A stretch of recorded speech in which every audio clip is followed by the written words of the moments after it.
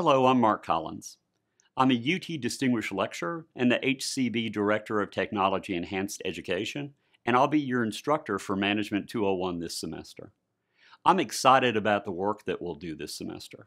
Some of the areas we'll investigate include the functions of management, managerial history, environmental scanning, strategy and tactics, leadership, motivation, diversity, and human resource management.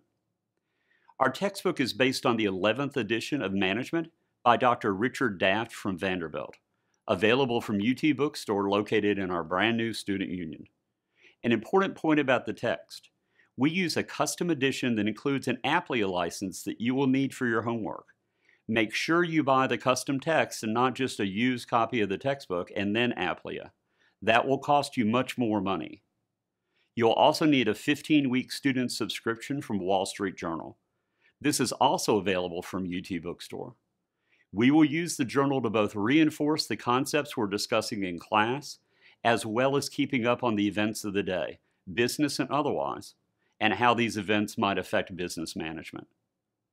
UT uses a cutting edge video conferencing system and software called Zoom. You can learn more about it at oit.utk.edu,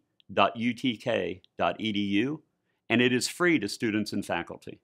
You might want to familiarize yourself with it before the semester begins. So go ahead and start getting ready for what I hope will be a great semester. My goal is not only that you learn a lot, but that you also will leave the course knowing what managers actually do each day and can apply these skills immediately in both your professional and personal life. See you soon.